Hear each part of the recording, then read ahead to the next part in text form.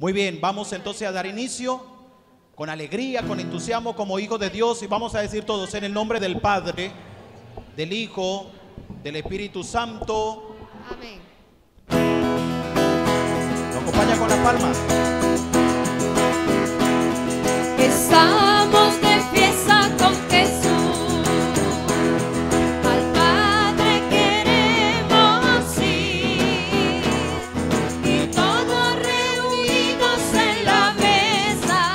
Es Cristo quien va a servir. Estamos de fiesta.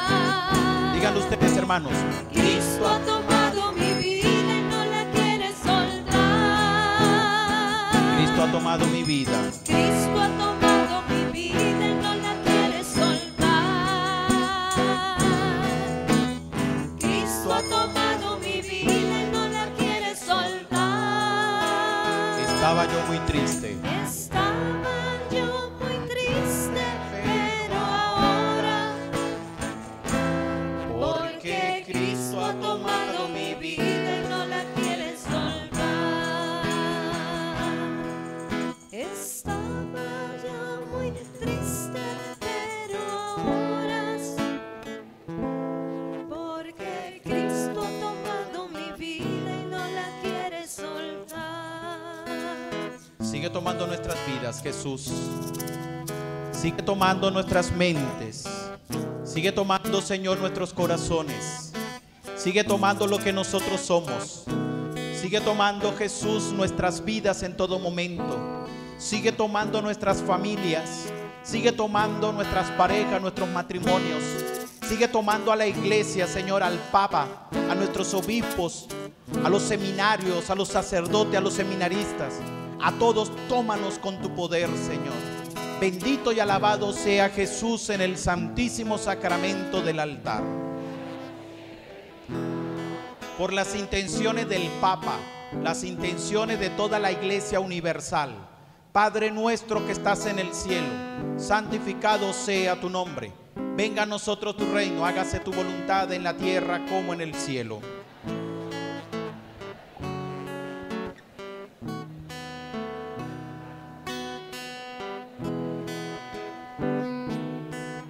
Bendito y alabado sea Jesús en el santísimo sacramento del altar. Por las intenciones de nuestra parroquia, de todo su movimiento de apostolado, todos los servicios, las comunidades eclesiales de base, los grupos de apostolado, por todo lo que hacen su servicio pastoral. Dios te salve María, llena eres de gracia, el Señor es contigo. Bendita tú eres entre todas las mujeres, bendito es el fruto de tu vientre Jesús.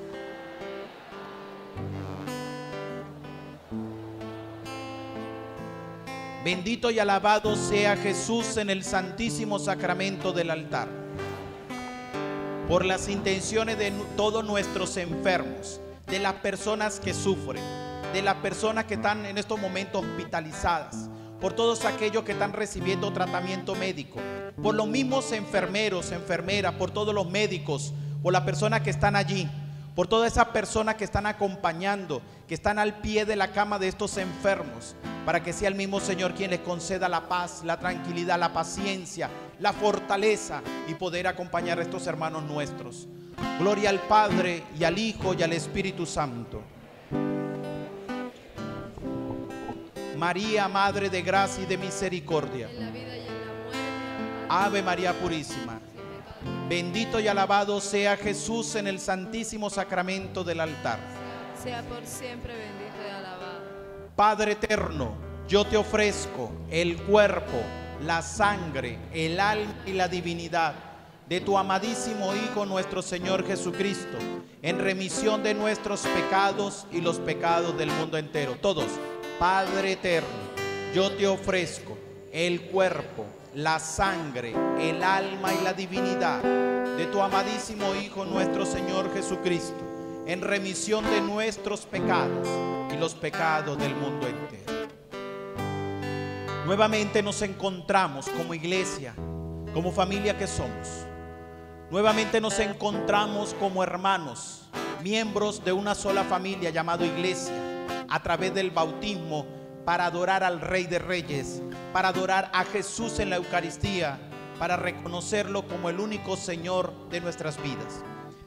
Venimos nuevamente a los pies de Jesús en este inicio de cuaresma para pedirle a Él que nos fortalezca, para pedirle a Él que nos ayude, para pedirle a Él también que nos levante, para pedirle a Él que nos ayude en la oración, que nos ayude en el ayuno, que nos ayude en la generosidad, en la limosna, en la ofrenda, que me ayude a aprender a compartir con otros. Nuevamente nos encontramos a los pies de Jesús para reconocerlo como el único Señor, como el único Dios, como el Emmanuel, el enviado, el Dios entre nosotros. Eres el Santo Jesús, eres el que todo lo puede, eres el que nos congregas, el que nos reúnes, eres el que con la gracia y el poder del Espíritu nos hace decir, alabado sea Señor, alabado sea Señor. Bendito seas Dios. Eres el pan bajado del cielo. Eres el pan que viene al mundo para alimentarnos. Eres el pan que viene al mundo para poder adorarte. Eres el pan que viene al mundo para darnos alimento espiritual. Eres el pan que viene al mundo para podernos dar ese alimento y saciar nuestra sed, también nuestra hambre espiritual. Eres el pan bajado del cielo. Tanto ama Dios al mundo que nos lo ha entregado.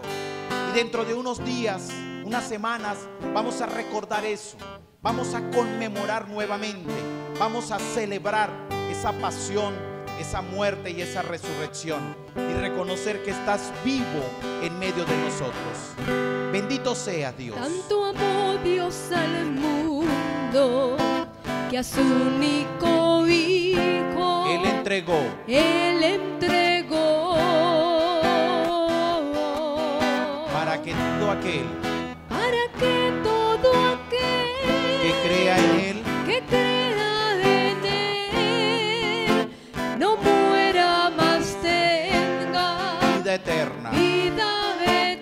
Una vez más.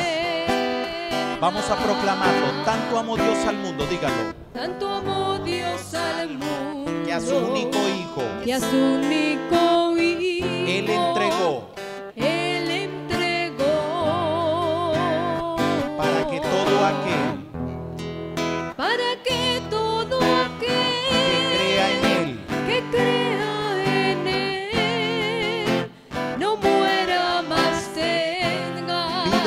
eterna. Vida eterna. Jesús está vivo.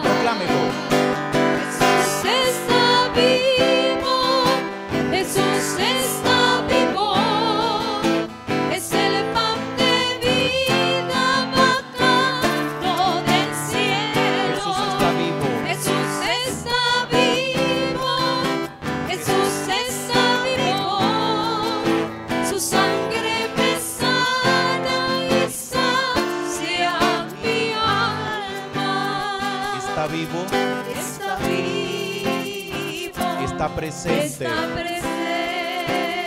Mi Dios es real. Mi Dios es real. Y yo le adoro Y reverente. yo le adoro reverente. Mire lo que acabamos de proclamar por nuestra boca, que Jesús está vivo. Lo que acabamos de anunciar con nuestros labios, que Jesús está vivo. Y vivo en la Eucaristía y vivo en la iglesia, no es una fantasía, es verdad. Porque la misma palabra nos lo anuncia, la misma palabra de Dios nos lo enseña. Y estaré con ustedes hasta el final de los tiempos. Es el mismo Dios presente en su pueblo. Es el mismo Dios que se hace presente en medio de su iglesia y que seguirá con nosotros hasta el final de los tiempos. Adórelo a Él. Él es el pan bajado del cielo. Él es la Eucaristía santa. Él es la Eucaristía bendita. Él es el alimento de vida. El Señor hecho presente en los sacramentos. El Señor hecho presente en la iglesia. Él es Jesús. Ese es el amor que Dios ha tenido con nosotros. El amor que Dios nos enseña y nos da a nosotros. Que entregó a su Hijo. Que todo aquel que crea en Él no se pierda, sino que tenga vida eterna.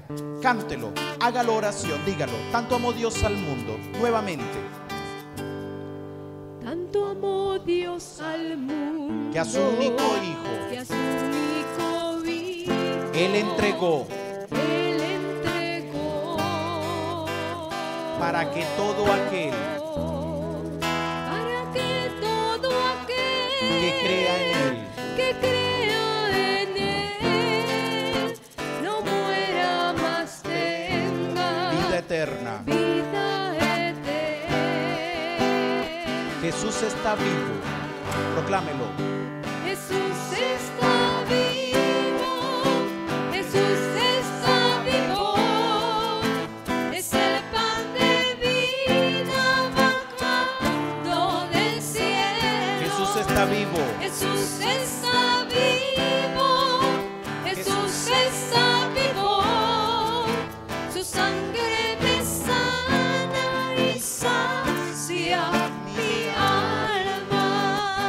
Está vivo. Está presente. Está presente. Mi Dios es real. Mi Dios es real. Y yo le adoro Y reverente. yo le adoro reverente. Abra su boca y diga, Jesucristo es el Señor, Jesucristo es el Rey. Jesucristo es el Dios con nosotros. Jesucristo es el Mesías. Jesucristo es mi Señor. Jesucristo es mi Salvador. Jesucristo es mi Rey. Jesucristo es el Santo de los Santos. Te alabamos, Señor, te bendecimos. Te damos la gloria que mereces, porque eres el Dios con nosotros. Adoramos tu nombre. Bendecimos tu nombre, Jesús. Grande eres, Señor, en todo momento. Gracias por lo que nos enseñas, por estar aquí. Alabado seas, Jesús. Alabado seas, Dios. Alabado seas, Señor. Bendito seas. Abra su boca y alábelo. Adórelo. Reconózcalo. Diga, Jesús es mi Señor. Jesús es mi Salvador. Jesús es mi Rey. Jesús es el dueño de mi vida. Jesús es el dueño de mi familia. Jesús es el dueño de la iglesia. Jesús en medio de nosotros. Jesús, Jesús está vivo. Jesús está vivo. Vive en medio de nosotros. Jesús está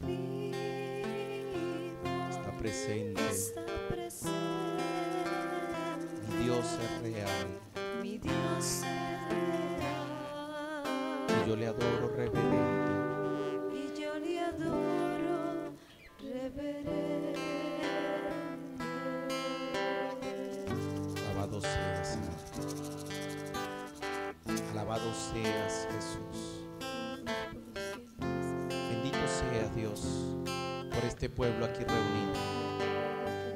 Bendito sea Dios por este pueblo congregado. Bendito sea Dios porque nos reúnes nuevamente. Estás vivo en medio de nosotros.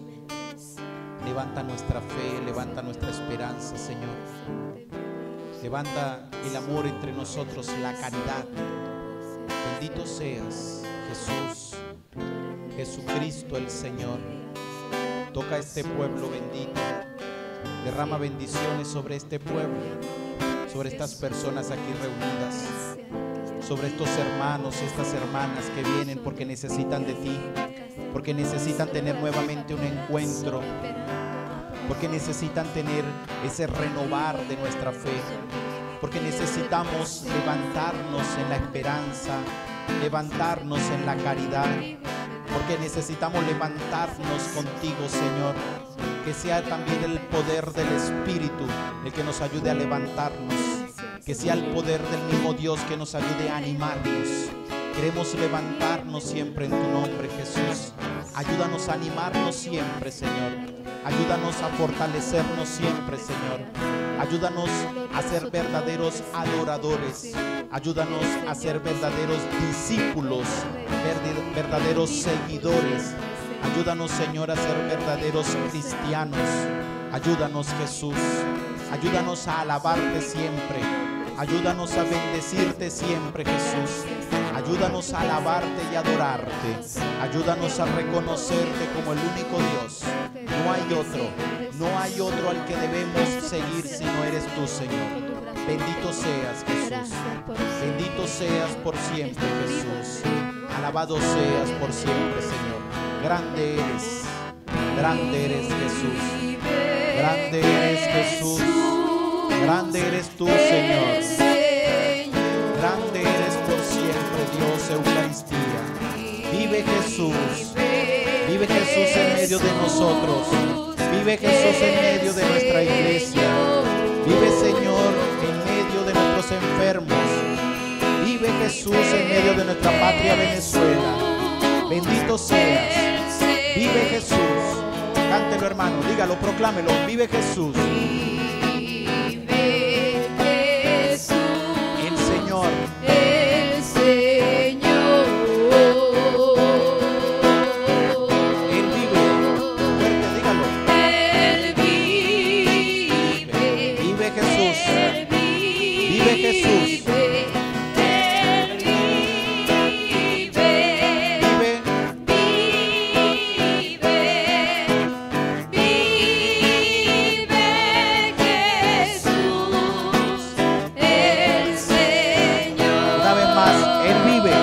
levante sus manos y hacia Jesús y cánteselo.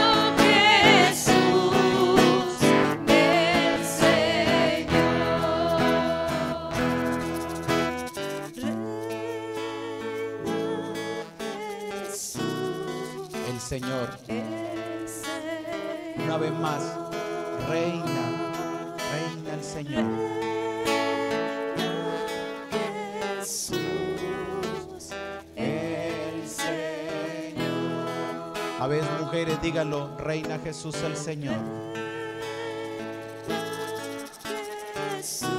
El Señor. A ver, hombres, cántenselo al Señor, el reina. El Señor. Todo el pueblo de Dios le canta diciendo a Jesús.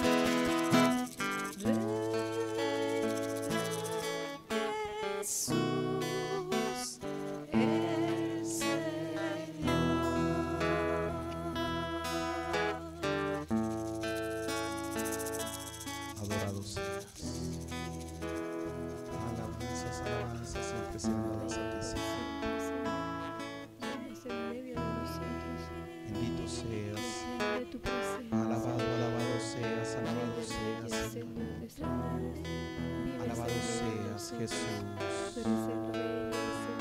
Por este pueblo santo. Llénese de la gracia de Dios, hermano. Déjese guiar por la fuerza del Espíritu. Déjese guiar por la acción de Dios.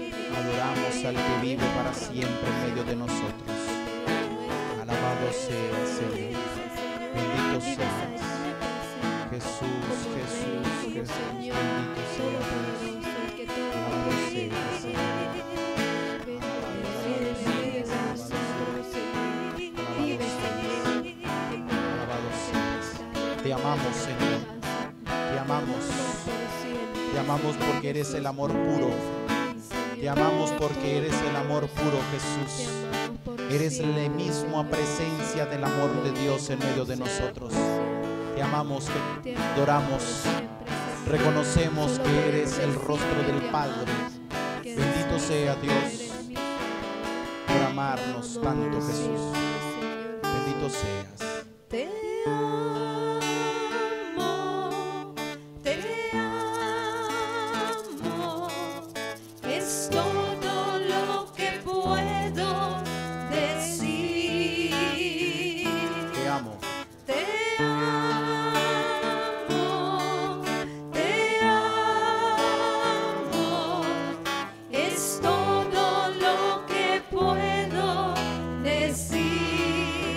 más. Te amo. Te amo. Dígaselo al Señor. Te amo. Es todo lo que puedo decir. Es todo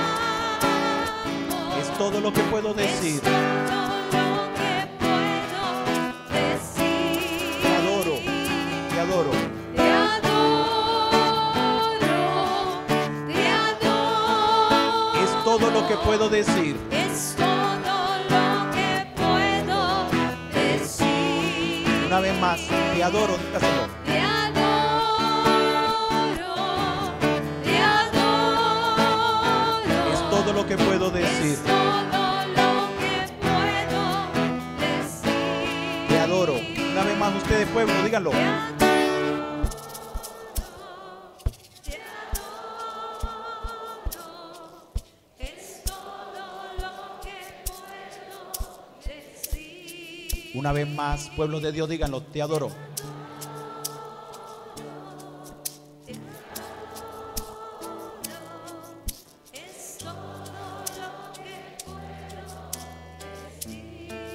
Te amo. Díganselo al Señor. Cántelo, pueblo de Dios.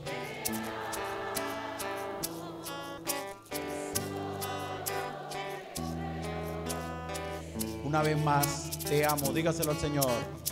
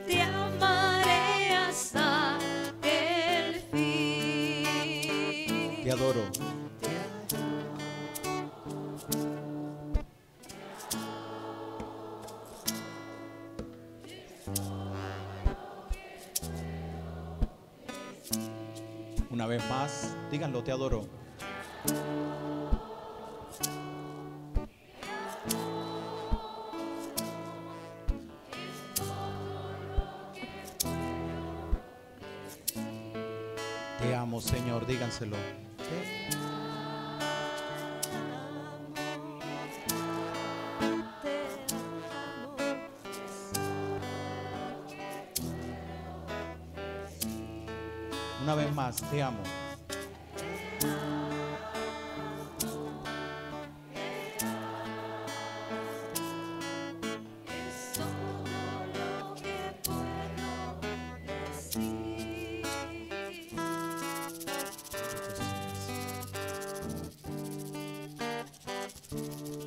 Prepáranos, Jesús, a escuchar tu palabra. Prepáranos, Jesús, a escuchar la buena nueva. Prepáranos, Jesús, a escuchar el Evangelio, la buena nueva, palabra de salvación. Abre nuestra mente, abre nuestro entendimiento, Jesús, para que esta palabra pueda llegar a nuestras vidas, para que esta palabra pueda tocar nuestros corazones. Que todos nuestros sentidos estén puestos en ti, Señor. Para que podamos escuchar la voz del buen pastor, el pastor bueno, Jesús. Bendito seas. Amén. Amén.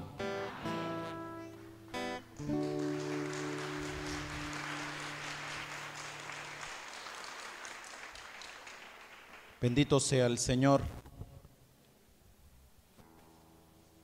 Es sabroso cuando oramos en comunidad. También es bueno rezar solo, pero en comunidad es más bueno todavía. Porque se vive la experiencia de iglesia. Si no se ora en comunidad, no se tiene sentido de iglesia. Vamos hermanos a revisar un poco la palabra de Dios para meditar lo que el mismo Jesús nos quiere enseñar. Para algunos hermanos que nos están escuchando por la radio en este momento, es San Lucas capítulo 5, versículos del 27 al 32. Del 27 al 32, San Lucas capítulo 5, 27, 32. Muy bien, vamos entonces a leer la palabra. Vamos todos como comunidad, como iglesia, a leer a una sola voz la palabra de Dios. No importa la traducción que usted tenga, no importa. Lo que importa es que todos vamos por la misma luz del Espíritu. Lo que yo les he dicho, quizás en la Biblia suya aparece banca, pero en la traducción que otro tiene aparece silla. Las dos sirven para sentarse. Aquí no vamos a caer en discusiones. ¿Estamos entendiendo eso? ¿Ve? Esas son las traducciones. Banca, silla, tiene el mismo uso. Es para sentarse y punto. Entonces, no, que lo mío no dice igual que la suya, padre. Ya le expliqué qué significa. Son traducciones. ¿Oyeron? Muy bien, vamos a leer todos en voz alta entonces. Uno, dos, tres. Después de esto, Jesús salió y se fijó en uno de los que cobraban impuestos para Roma. Se llamaba Leví y estaba sentado en el lugar donde cobraba los impuestos. Jesús le dijo, sígueme. Entonces Leví se levantó y dejándolo todo, siguió a Jesús. Más tarde Leví hizo en su casa una gran fiesta en honor de Jesús y muchos de los que cobraban impuestos para Roma, junto con otras personas, estaban sentados con ellos a la mesa. Pero los fariseos y los maestros de la ley del mismo partido comenzaron a criticar a los discípulos de Jesús. Les dijeron, ¿por qué comen y beben ustedes con cobradores de impuestos y pecadores? Jesús les contestó, los que están buenos y sanos no necesitan médico, sino los enfermos. Yo no he venido a llamar a los justos, sino a los pecadores para que se vuelvan a Dios. Palabra del Señor. En un momento de silencio, entonces cada uno con su Biblia, ora, repasa nuevamente la lectura, ahí ya sería lectura bíblica de manera personal, y de una vez aprovechamos y hacemos el tercer paso, que mientras vamos leyendo de manera personal, extraemos alguna frase, extraemos alguna palabra, extraemos alguna línea que me llame la atención. Recuerden que Dios habla de diferentes maneras a todos. No pretenda que todo nos va a hablar de la misma manera. No. A mí me puede llamar la atención una palabra, una frase, qué sé yo. La puedo subrayar en el libro de anotaciones que algunos tienen, la agenda que algunos tienen. Pueden anotar esa palabra, esa frase. Y antes de ir a dormir podemos orar con esa palabra o esa frase que, que nos llamó la atención en el momento de la oración. Entonces, comenzamos allí a leerla de manera personal. Un tiempo prudencial para eso, para que usted lea, medite, reflexione sobre ella. ¿Qué me dice esa palabra a mí? ¿Qué me enseña esa palabra? ¿Qué me quiere decir? ¿Será que yo me veo involucrado en esa palabra? ¿En alguno de esos personajes?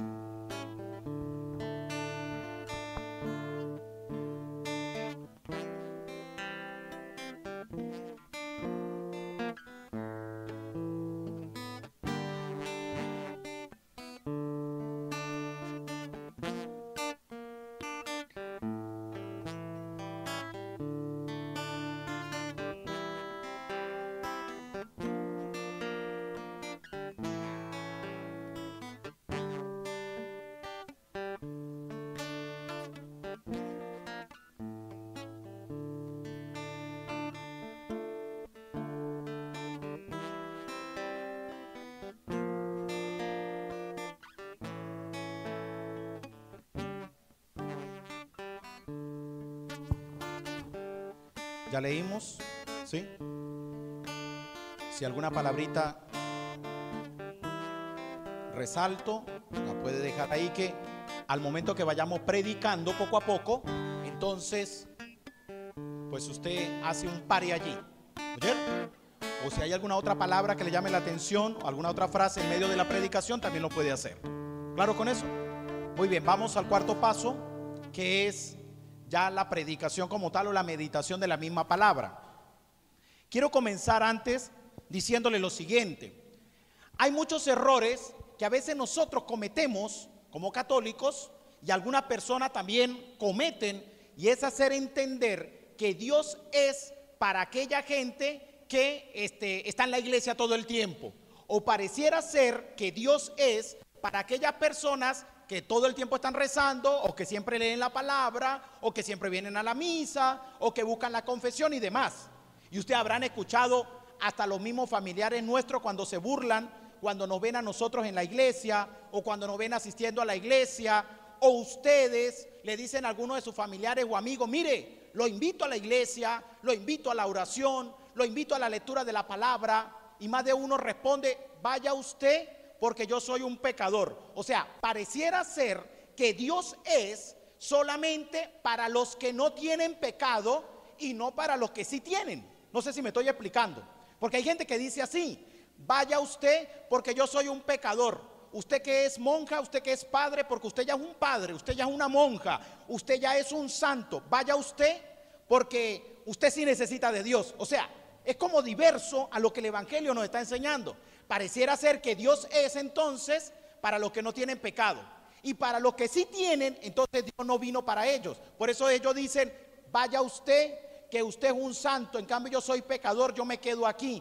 Y resulta que el Evangelio de hoy transforma esa mentalidad que el mundo nos quiere colocar, que Dios es para aquellos que son muy santos ya y no para aquellos que necesitan de verdad.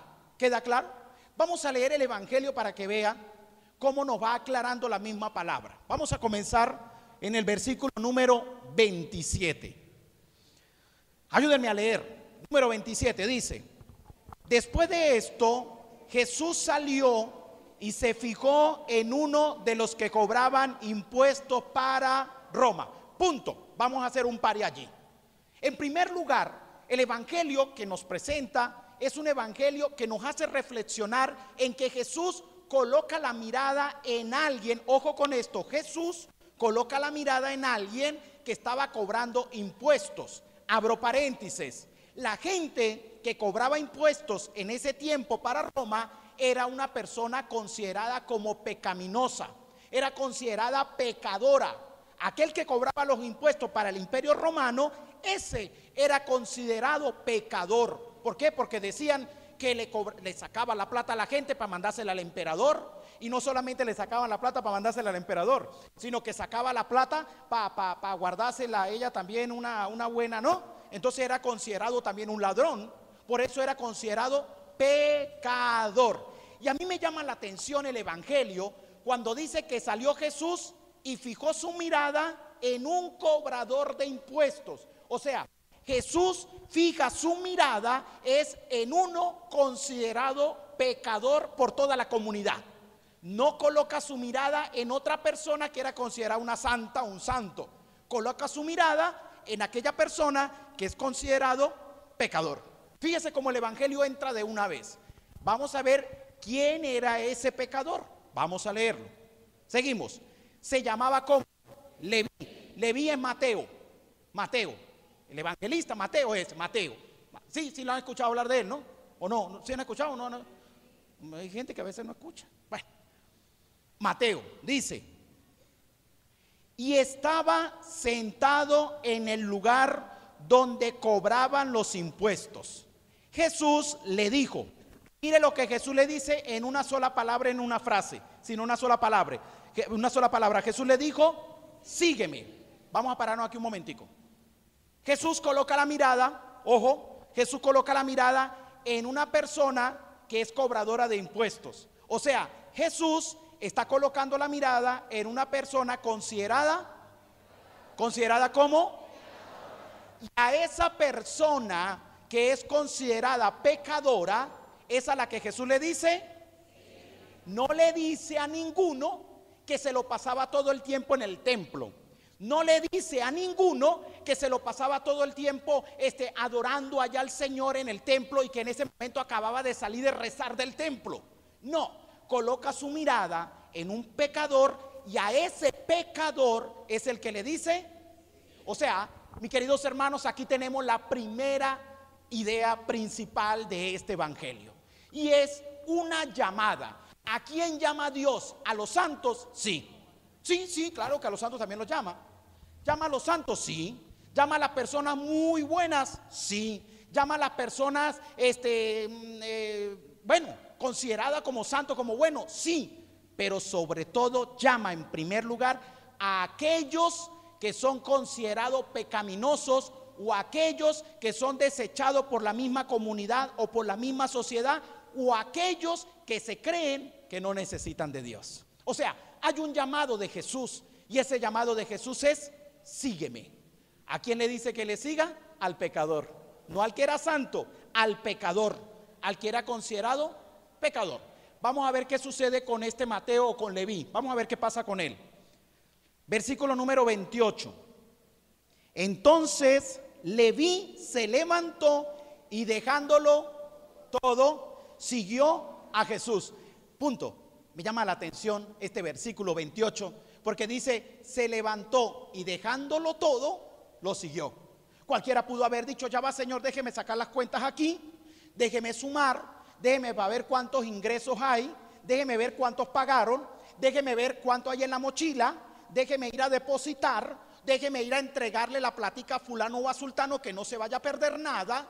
Eso lo pudo haber dicho este hombre, pero dice el Evangelio, se levantó y dejándolo todo, lo siguió. No sé si usted está entendiendo lo que la palabra está diciendo. No hubo, oiga, no hubo ningún tropiezo por parte de Leví, por parte de Mateo. No hubo ningún tropiezo. El hombre se levanta, el hombre se va y sigue a Jesús y deja todo lo que estaba haciendo. O sea, mis queridos hermanos, lo que el Evangelio nos quiere explicar a nosotros es que cuando el Señor llama, cuando Dios toca la mente y el corazón del hombre, cuando de verdad usted se siente llamado por Dios, cuando de verdad usted se siente llamado por Jesús, hay una respuesta. ¿Y cuál es la respuesta? Seguir al Señor, seguir al Dios de la vida, pero dejándolo todo. ¿Qué es lo que pasa con muchos católicos, con muchos cristianos, con nosotros mismos? ¿Queremos seguir a Dios? Sí.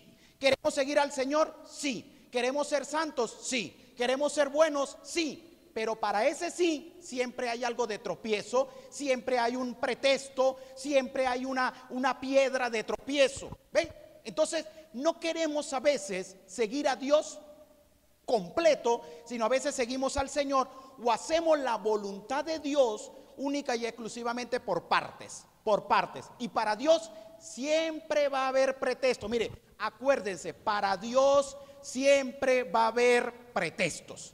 Si no es porque está lloviendo, es porque tengo alergia. Si no es porque tengo alergia, porque me duelen las piernas. Si no es porque me duelen las piernas, es porque tengo los pies hinchados. Si no tengo los pies hinchados, es porque llegué tarde del trabajo. Si no fue porque llegué tarde del trabajo, entonces fue porque llegué muy cansado. Si no es por esto, es por aquello. Pero siempre vamos a encontrar pretextos para seguir al Dios de la vida.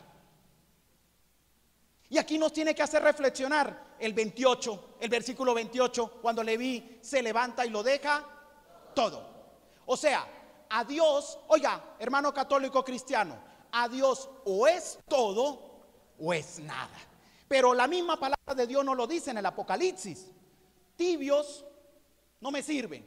O es frío o es caliente. Pero los tibios yo los vomito. O sea, si los sigo, pero sí voy con usted, pero voy a hacer oración, pero voy a leer la palabra, pero yo lo adoro un ratitico a él y me voy porque siempre van a haber pretextos para Dios. Eso, eso mire, eso siempre va a estar. Pero hay una buena palabra, mis queridos hermanos, que el día en que nosotros comprendamos que el Dios de la vida nos llama y toca nuestras mentes, ese día vamos a comprender que nosotros de verdad somos capaces de dar una respuesta. Y la respuesta es, es el todo. Todo. No puede haber pretextos para Dios. No puede haber pretextos. Y mire, mis queridos hermanos, no es que le esté metiendo el mie- miedo, pero el Papa lo dice muy claramente, el diablo existe. Y el diablo siempre va a buscar la manera para que usted pongamos pretextos, para que nos salgan pretextos, para que no lo busquemos a él. Para que, para que no, Leví no lo hizo, claro está, Leví no lo hizo, Mateo no lo hizo, pero para que nos pueda pasar como nosotros pensamos, ya voy pero tengo que arreglar las cuentas, ya voy pero, pero, pero, siempre va a haber pretextos. ¿Claros? ¿Cuántas palabras clave llevamos? Una, sígueme. La segunda es una frase completa y es, dejándolo todo, se levantó. O se levantó y lo dejó todo. Ya llevamos dos ideas principales. Seguimos. Versículo número 29. Dice, más tarde, Leví hizo en su casa una gran fiesta en honor de Jesús. Y muchos de los que cobraban impuestos para Roma, junto con otras personas, estaban sentados con ellos a la mesa. Esperemos un momentico aquí. O sea, que si Mateo, Leví, recibe a Jesús en la casa, aparte de recibir lo que hace, una fiesta. Entonces, no va solamente Leví, sino van los otros cobradores también. Sí, sí, sí, sí, ¿tuvieron pendiente? Van los otros cobradores también. O sea, que había una fiesta de puros pecadores. Bueno, de cobradores, pero de, porque se dice la palabra que estaba él, hizo una fiesta y a la mesa, alrededor de la mesa estaban otros cobradores de impuestos, entonces era una cena de puros. Imagínese usted, mi querido hermano, Jesús en medio de puros pecadores. Ninguno estaba orinando agua bendita. Nadie. Todos considerados pecadores. Mire lo que empezó la gente a decir por ver a Jesús metido dentro de los pecadores. Mire, mire, mire, mire, mire lo que pasa. Versículo número, vamos en el 29, ¿sí? Ok.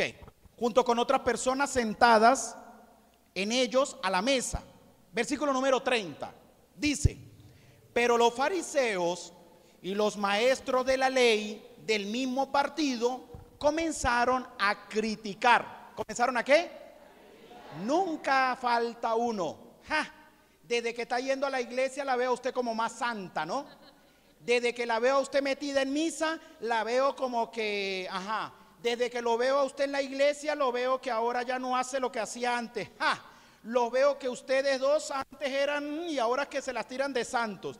Yo veo que ahora, ve, nunca va a faltar. Nunca. Hasta lo de su misma casa. Ustedes tienen la Biblia ahorita ahí en la mano. Y usted llega ahorita a su casa y puede ser que en la sala tengan el televisor prendido, estén tres o cuatro de su familia ahí reunidos. Y pasa usted por el medio con la Biblia y lo primero que le van a decir, llegó el santo, llegó la santa, huele a puro ángel.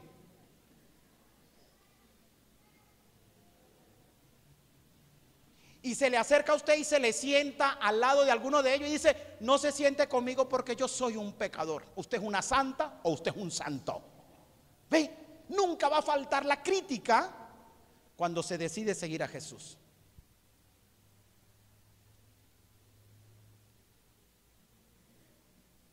Es bíblica la cosa, ¿no? Ajá. Y, y Mateo se levantó y dijo, bueno, fuera de aquí los que están criticando, fuera, fuera, salgan agradecidos. Aparte de que uno los invita a comer y a pasar una fiesta, se ponen a fuera, fuera, fuera. ¿Lo sacó? Jesús lo sacó a ellos. Vamos a ver qué le responde porque Jesús también respondía. Vamos a ver qué sucede. Dice, comenzaron a criticar a los discípulos de Jesús. Les dijeron, ¿por qué comen y beben ustedes con cobradores de impuestos y pecadores? Jesús le contestó, mire lo que mire las palabras de Jesús. Vamos todos a decirlo en voz alta. Versículo número 31.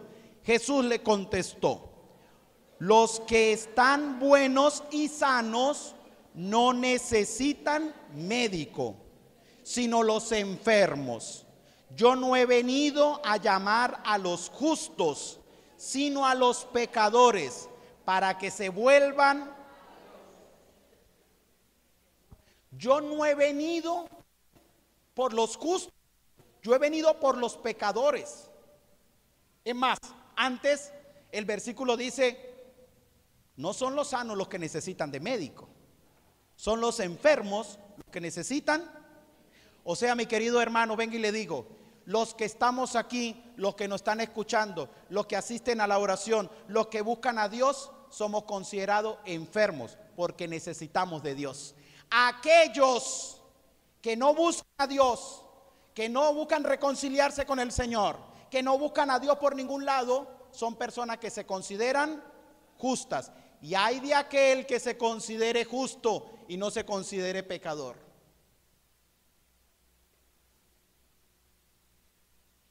Maribel, vamos a la iglesia. Vaya usted y yo me quedo aquí. Usted no va porque se considera justa. Usted no se considera pecaminosa. Y hay de aquel que se considere justo, que no se equivoca, que no tiene errores, que no tiene fallas, que no tiene dificultades. Hay de aquel. Mire, yo le decía ayer que era miércoles de ceniza. Fui a colocar la ceniza por allá en un, en un lugar grande, una fábrica, un establecimiento. Yo le decía algo a todas las personas que estaban ahí reunidos cuando estaba haciendo la celebración de la palabra. Le decía lo siguiente, mire, parece mentira, pero el miércoles de ceniza la gente busca a Dios y al otro día ya no lo busca más. Bueno, no todos, algunos, ¿no? Es más, le decía yo lo siguiente, le voy a colocar un ejemplo. Mire, hay gente que nunca se acuerda de Dios, pero cuando pasa un susto o pasa una cosa terrible, de una vez se echan la cruz. Pero cuando no les pasa nada de eso, nunca se echan la cruz. Pero el día que pasan un susto, ay, santo Dios, vio, uy, casi que, ay, santo Cristo, ay, Dios mío, ese día se echan la cruz hasta dos y tres veces. Pero mientras no tienen sustos, no tienen pruebas, no tienen dificultades, no se echan la cruz. O sea, no necesitan de Dios. Y mi querido hermano, en las buenas y en las malas, usted y yo necesitamos de Dios. En las dificultades y en las dos dificultades necesitamos de Dios. Si nosotros no entendemos esto, vamos a seguir creyendo. Oiga, oiga, si nosotros no entendemos esto, vamos a seguir creyendo que la iglesia es un lugar para aquellos que ya se consideran santos. Y sí también lo es, ¿cómo no? Pero la iglesia es un, es un medio, es un lugar, es una reunión, es una familia donde todos necesitamos del papá que se llama Dios. ¿Estamos entendiendo ese mensaje? Por eso es que hay mucha gente alejada. Y vuelvo y se lo digo a ustedes, mis queridos hermanos, y disculpe que insista tanto. No podemos desechar a nadie de la iglesia. No podemos desechar a nadie de nuestras comunidades. No podemos desechar a nadie. No podemos estar juzgando a nadie. No que usted es un... ¿Y usted qué es?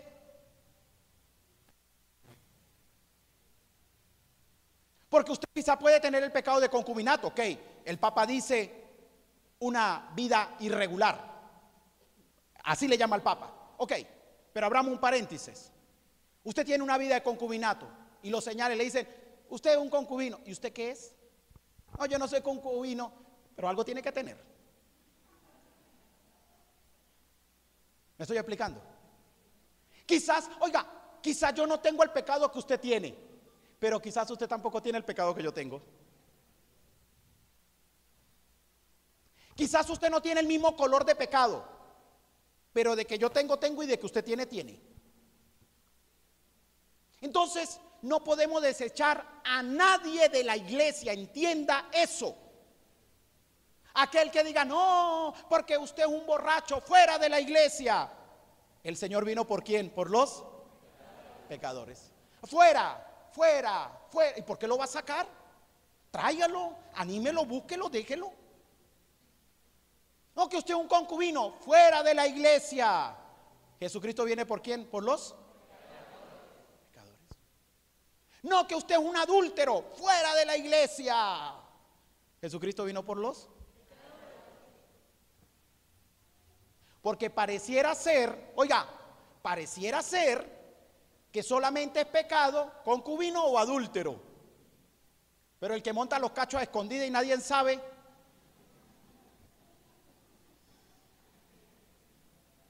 ¿cómo hacemos? ¿Ah? ¿Ah? Y el que monta los cachos a escondidas y nadie se da cuenta, ¿cómo hacemos? Porque pareciera ser que ser concubino y adúltero es solamente pecado. Y el que mata al otro apunta de lengua, dando lengua y hablando de mal y criticando y levantando injurias. ¿Eso qué es?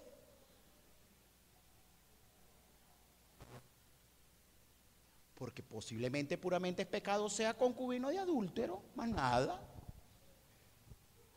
¿Cómo vamos a meter aquí en la iglesia en un grupo tal a un concubino? Válgame Dios. Ah, pero sí podemos meter criticones. Y sí podemos meter este mentirosos. Y sí podemos meter este falta de respeto. Y sí podemos meter lujuriosos. Eso sí podemos meterlos.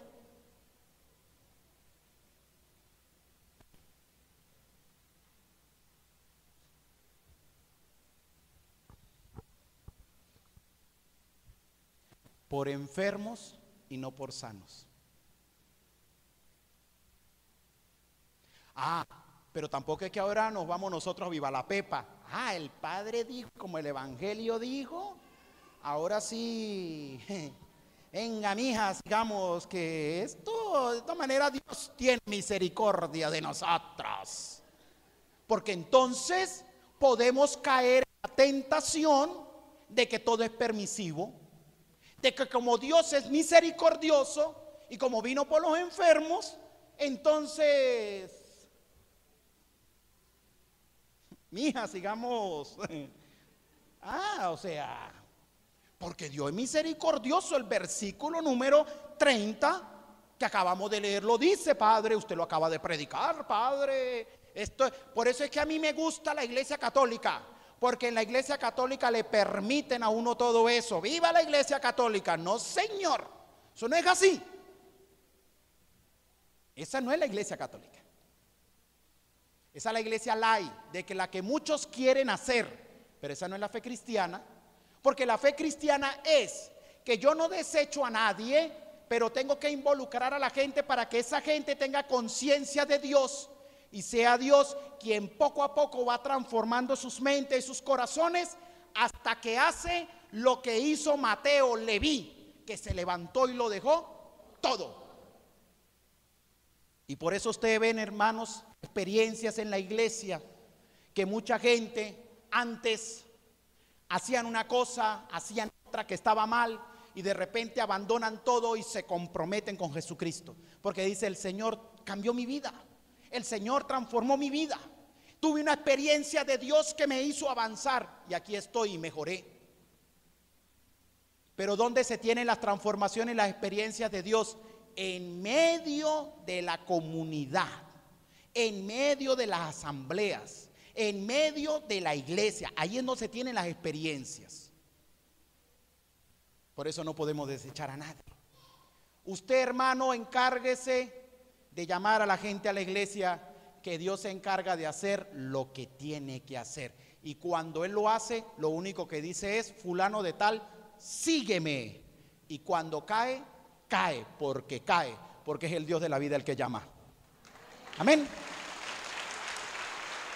Vamos a orar un poco.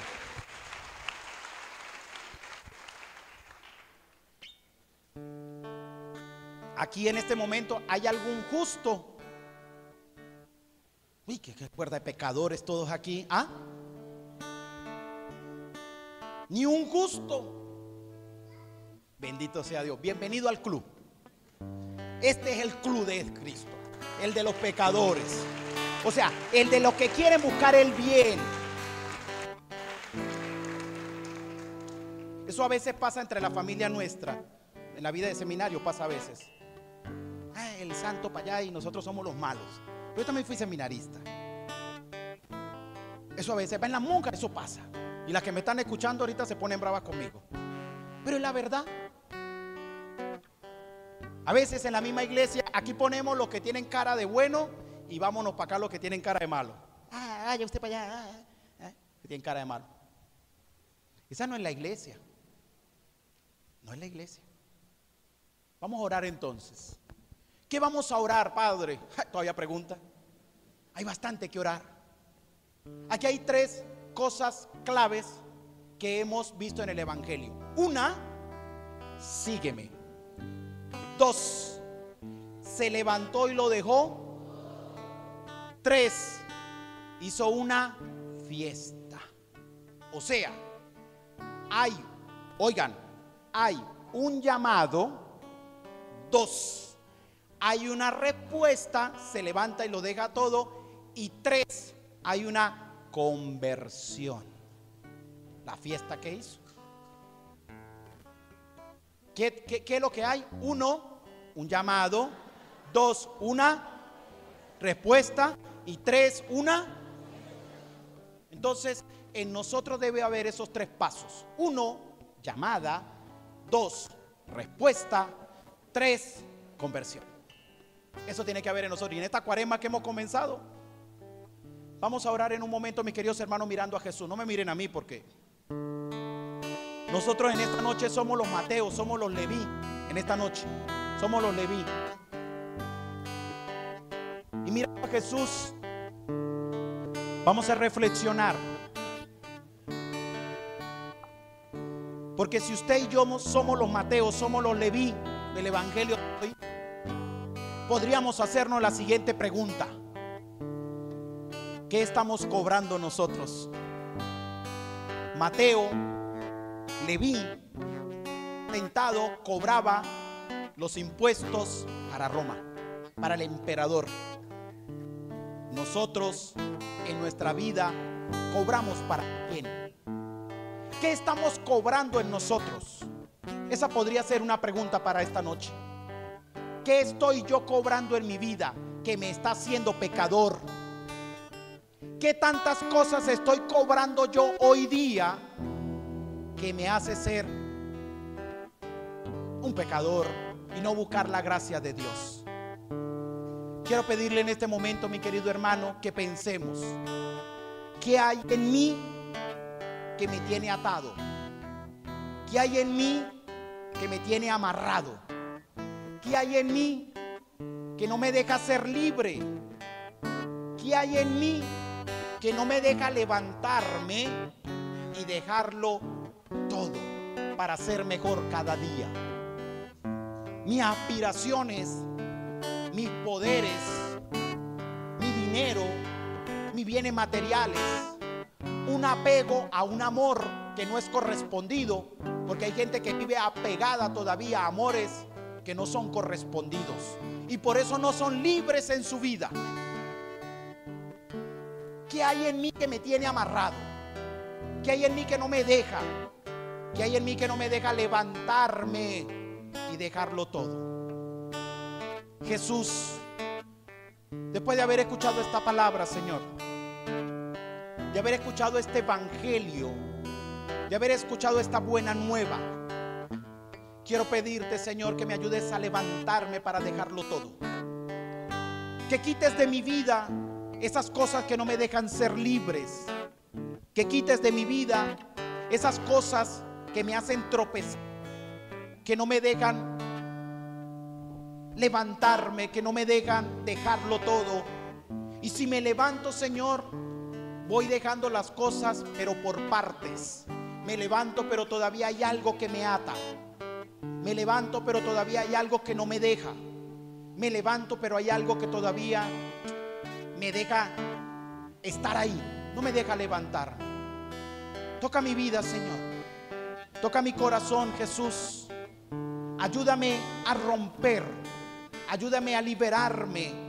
Ayúdame, Señor, a levantarme y dejarlo todo.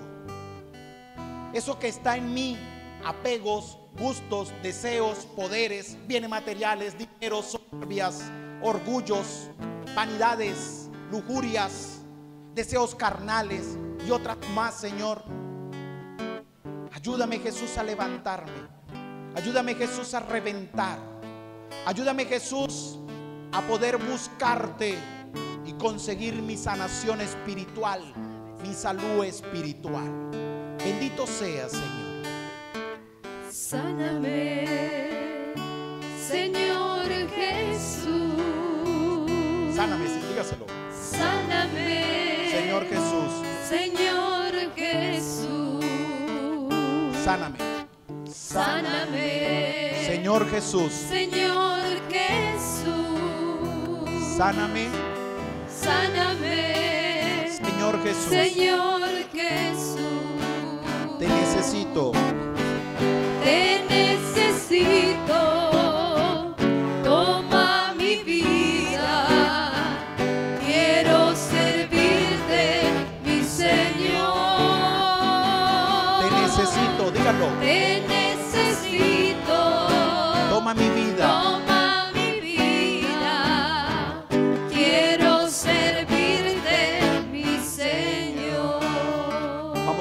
A Jesús, mirando a Jesús, no a mí, al Padre no, allá, a la Eucaristía Santa, Jesús en el pan bajado del cielo. Y vamos a decirle al Señor con este canto, libérame, libérame de eso que no me deja levantarme, libérame de eso que no me deja seguirte, libérame Señor de eso que me mantiene atado. Vamos a decírselo a Jesús, libérame. Libérame. Señor Jesús, Señor Jesús. Libérame. Libérame. Señor Jesús, Señor Jesús.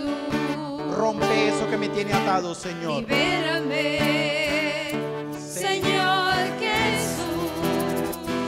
Libérame, Libérame. Señor Jesús. Señor Jesús. Te necesito. Te necesito. Toma mi vida.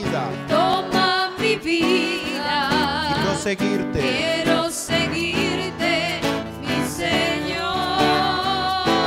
Te necesito. Te necesito. Toma mi vida. Toma mi vida. Quiero seguirte, mi Señor. Somos hechura de Dios.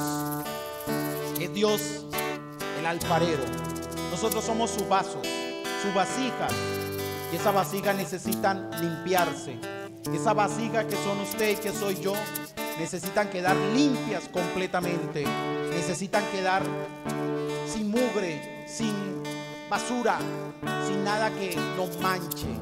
Vamos a decirle al Señor, Señor, que queremos quedar libres, que nos ayude a buscar la confesión, que nos ayude a buscar el arrepentimiento, que nos ayude a ser mejores, personas más amorosas, personas serviciales, seguidores de Jesucristo, discípulos que trabajan por el amor, que trabajan por la esperanza, que trabajan por una sociedad nueva, renovada en Jesucristo. Digámosle al Señor. Yo quiero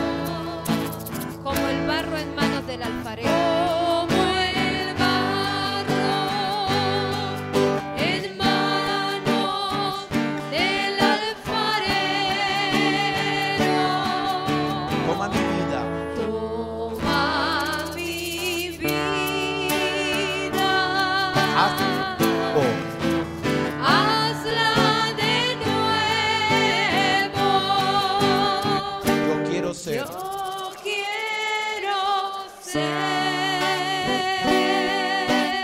un vaso nuevo. Un vaso nuevo. Una vez más, yo quiero ser.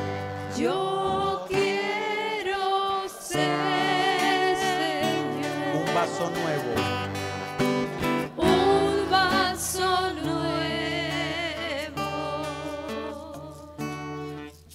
Vamos a recibir la bendición de Jesús.